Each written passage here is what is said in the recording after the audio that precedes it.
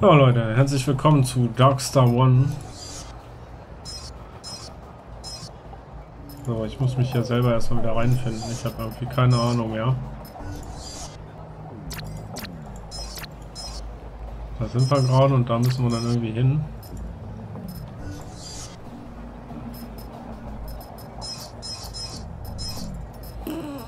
Ja. Terminal, hier gab es Aufträge, ne? Genau. Training 1 Grundlagen. Ja, dann nehmen wir den doch erstmal an. Irgendwie so lief das, ne?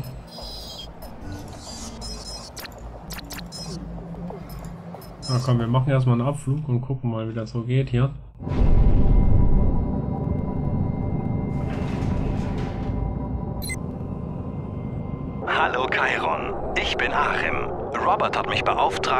Mit der Steuerung der Darkstar One vertraut zu machen.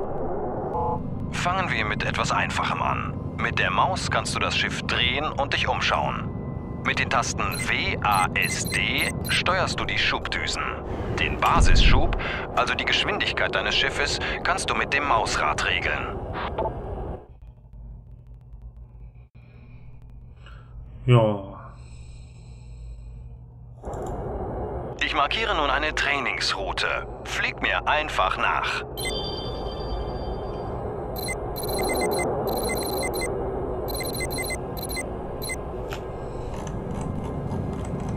Dann machen wir das mal. Ne? War denn das? Irgendwie gab es eine Taste, dann konnte man da oben auch das Bedienfeld bedienen.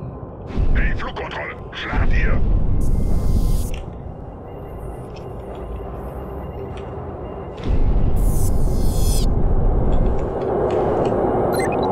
Super, das läuft ja wie geschmiert. Weiter zur nächsten Markierung. War es nicht.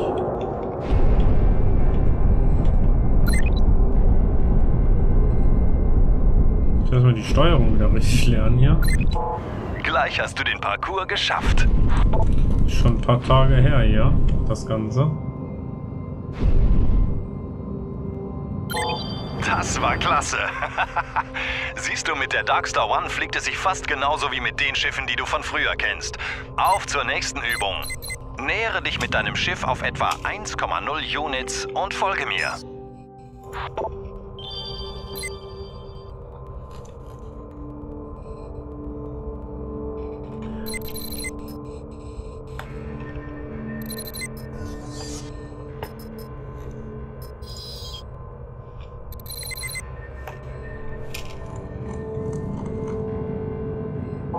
Was ist Chiron? Komm zu meinem Schiff und folge mir.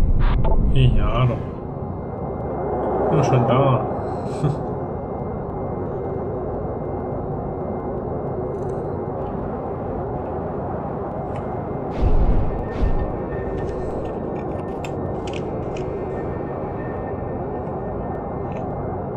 X. Oder womit konnten wir uns jetzt so drehen?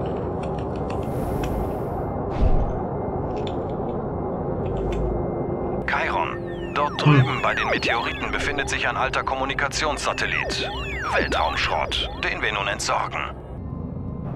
Ist okay. Wichtige Missionsobjekte werden links im Cockpit angezeigt. Wenn du die Leertaste gedrückt hältst, wechselst du automatisch vom Fadenkreuz zum Mauszeiger. Dann kannst du das Missionsobjekt direkt mit der Maus anwählen. Du kannst, um ein Ziel auszuwählen, aber auch die Objektliste mit dem Button im Cockpit. Okay. Fliege nun auf den ausgewählten Satelliten zu und schieße ihn ab. Mit der linken Maustaste kannst du den Buglaser abfeuern. Achte dabei auf den Vorhaltepunkt. Er erscheint, sobald du auf Feuerdistanz an das Ziel herangekommen bist.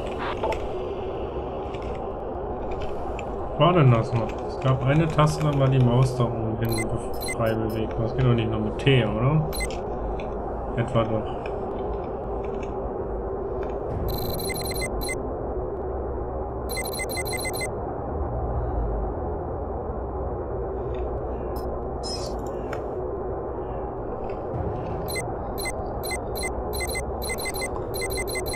Der Tab-Taste kann ich irgendwie alles durchdrücken wohl. So wie es mal bei Wing Commander war. Das bringt uns jetzt nicht mehr so viel. Ah, mit der Leertaste. Alles klar. Okay. Gut. Gut,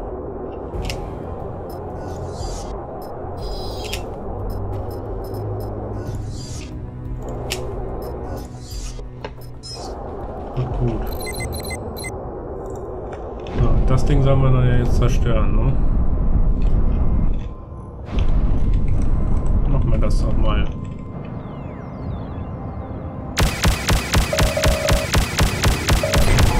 Es scheint so, als ob der Satellit durch eine alte Waffenplattform gesichert wurde. Schieß beides ab, den Satellit und die Plattform. Und lass dich dabei bloß nicht abschießen, Kairo. Das war nicht schlecht. Hätte nicht gedacht, dass so viel explosiver Schrott in dem Feld herumfliegt. Hätte dir ja gern geholfen, aber mein Trainingsschiff hat leider keine Bewaffnung. Nun komm wieder zu meinem Schiff und wir fliegen zurück zur Station. Moment, was ist das? Ich habe hier zwei Piraten auf dem Radar. Macht euer Testament, ihr Jetzt Würmer. geht's ab hier. Verdammt! Chiron, hilf mir! Ich habe keine Waffen! Nächsten Gegner selektieren mit R. Ja, und ich sehe gerade. Ich mach dich fertig. Von den Settings her. Das heißt, wir haben keinen Ducking laufen. Was mache ich brich gleich auseinander. Ja, der ist erledigt. Weiter so, Chiron.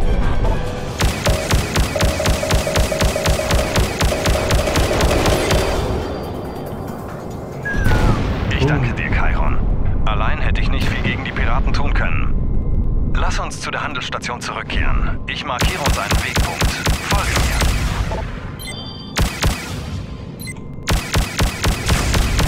Komm, wir schießen noch so ein paar Minen vorher weg. Wegpunkt. Ja, dann kommen wir da mal hin.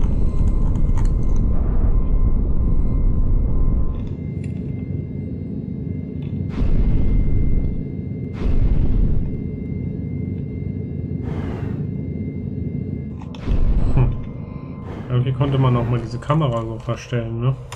Dann konnte man irgendwie so spielen, ne?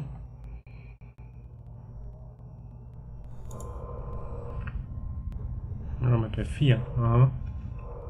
Das haben wir die Cockpit. Eine Dachkamera und dann sieht man das Ding vor sich auch fliegen hier. Ja.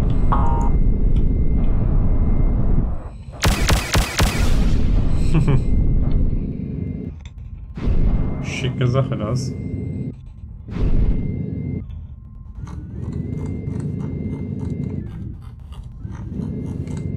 Mit dem Scrollrad, okay.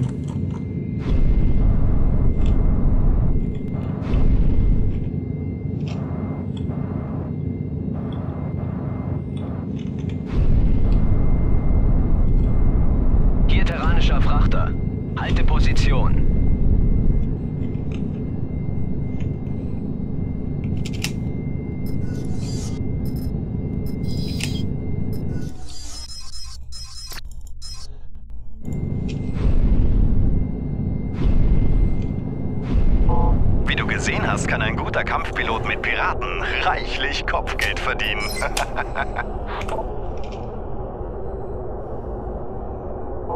Zum Landen musst du die Handelsstation anfunken und nach einer Landeerlaubnis fragen. Zuerst musst du die Station anwählen, dann kannst du mit der Kommunikationstaste K oder dem Kommunikationsbutton im Cockpit einen Funkkanal öffnen und nach der Landeerlaubnis fragen.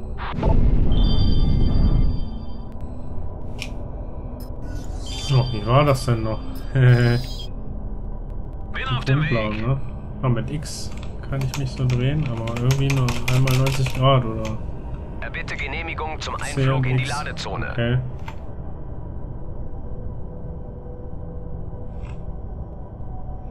Aber er geht nicht weiter in die andere Richtung mit X. Keine Ahnung, was das soll. Ja, was ist jetzt die Kommunikationstaste? Wir haben da unten noch was, ne? Hier ist die Handelsstation. Wie kann ich Ihnen helfen? Folge der Anflugmarkierung und fliege in die Hangarschleuse. Und versuch dabei niemanden zu rammen. Oh, später Die Grundlagen hast du jetzt drauf. Wir sehen uns sicher bald wieder. Danke nochmal für die Hilfe gegen die Piraten. Dafür konnte man dann irgendetwas einsammeln. Und dann nachrüsten an dem Schiff. Vielleicht geht das ja sogar schon. Ja, Landecomputer. Haben wir aber noch nicht genug Moneten dafür. Das kommt dann später. Ist aber halt auch nicht so wichtig. So.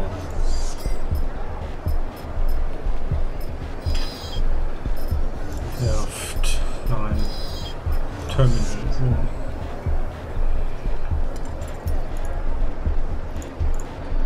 Fortgeschrittener Kampf. Ja, dann auf geht's. Machen wir das auch gleich noch mit. Schaffen wir zeitlich noch.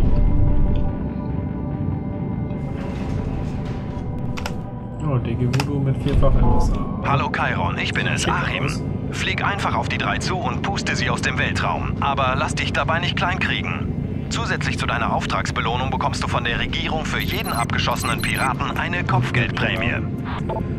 Gehen wir jetzt auf Piratenjagd, ja? Im Kampf ist es manchmal hilfreich, die Gegner schnell auszuwählen. Mit der R-Taste wählst du den Gegner aus, der dir am nächsten ist. Und pass auf deinen Rumpfzustand rechts oben auf. Viel Glück da draußen.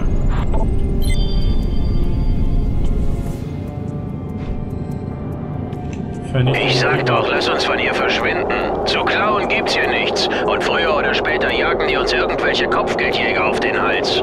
Wir könnten doch wenigstens ein paar Container abstauben, bevor wir in den Hyperraum verschwinden. Damit könnten wir uns dann in eine richtige Gang einkaufen und müssten uns nicht mehr so durchschlagen. Oh Mist! hallo. Da kommt schon der Erste, der sich eine Belohnung verdienen will. Ja, komm. Ziehen wir in den Krieg hier.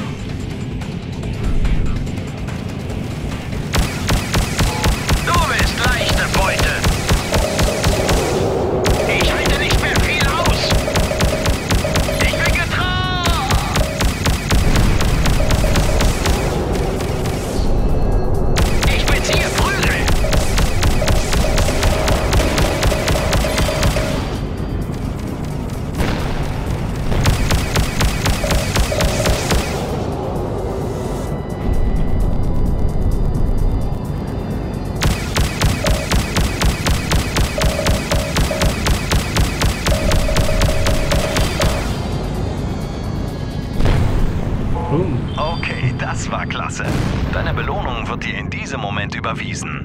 Auf der Handelsstation am Terminal warten bereits weitere Aufträge auf dich. Boom, Baby. Einen Ratschlag noch, Junge.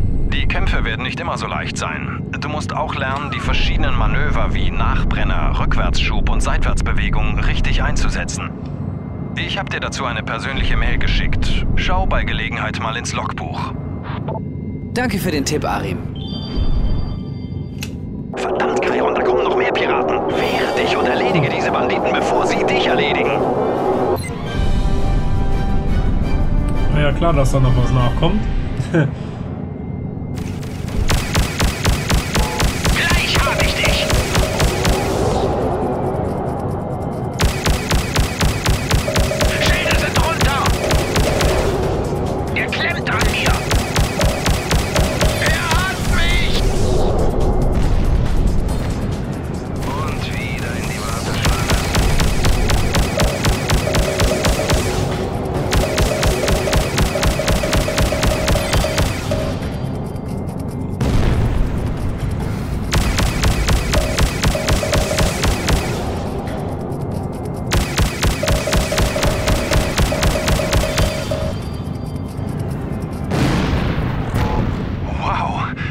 gerade noch mal gut gegangen.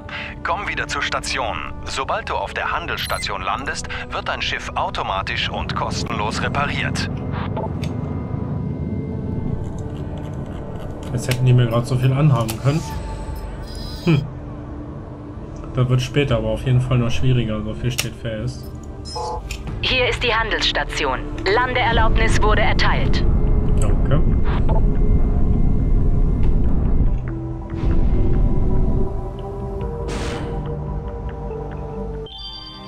mega gut gelandet hier.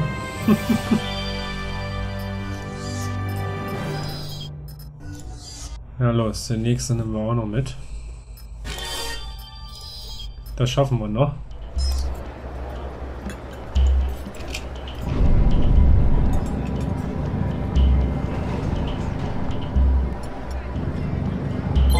Hey Chiron, das ist dein erster richtiger Auftrag mit deinem neuen Schiff. Gratuliere! Aktuelle Aufträge werden immer in dein Logbuch eingetragen. Wenn du mal was vergisst, kannst du dort nachschauen. Wieder zu ihm hinfliegen wahrscheinlich. Den Container, den du transportieren sollst, habe ich hinter die Station legen lassen. Ich fliege voraus. Folge mir. Am besten du öffnest die Targetliste und wählst dort den Container an. Ja, mit der Taste M können wir uns der Geschwindigkeit von dem im Target anpassen. Damit er in deinem. Zielcomputer unten links Mit auf auftaucht. 50. Trotz des Nachbrenners zum Annähern passt er das wieder automatisch an. Ne? Bin gleich soweit. Chiron, wähle jetzt den Container in der Targetliste an, damit er in deinem Zielcomputer unten links auftaucht. Okay, nähere dich jetzt der Fracht auf 0,0 Units und halte sie dabei schön im Sichtbereich. Aber nicht den Container rammen, die Dinger sind empfindlich. Sehr gut. Nun kannst du mit dem Button rechts im Cockpit eine Frachtdrohne aussetzen, die den Container für dich transportiert. Es gibt unterschiedliche Containergrößen. Je besser dein Frachtcomputer ist, desto mehr Drohnen und größere Container kann er steuern. Die Drohne ist nun unterwegs zum Container und du brauchst dich nicht weiter um sie zu kümmern. Sobald sie an den Container angekoppelt hat, folgt sie dir und begibt sich in den Leitstrahl deines Schiffs. Dadurch wird dein Schiff deutlich träger. Die Fracht soll in ein anderes System, also musst du nun deinen ersten Hyperraumsprung durchführen. Dazu benötigst du etwas Abstand zu größeren Objekten. Ich markiere dir einen Wegpunkt. Fliege mit deinem Container dorthin.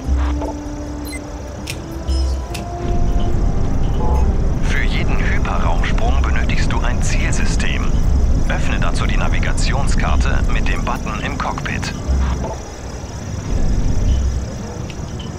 Dies ist die Navigationskarte. Hier sind alle Sonnensysteme verzeichnet, die dein Bordcomputer kennt. Bewege den Mauszeiger über ein System um... In Ordnung, das Ziel ist nun markiert. Entferne dich nun von allen Raumobjekten, damit du den Hyperraumsprung durchführen kannst. Sobald du weit genug von allem entfernt bist...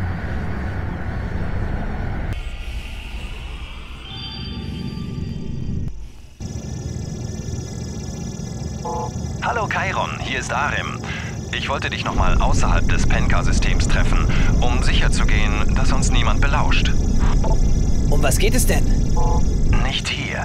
Ich übermittle dir den Schlüssel zu einem neuen System für deine Datenbank. Triff mich im U-System, sobald du hier alles erledigt hast. Ich werde dort auf dich warten. Okay, ist dann noch eine Story-Mission. Ja gut.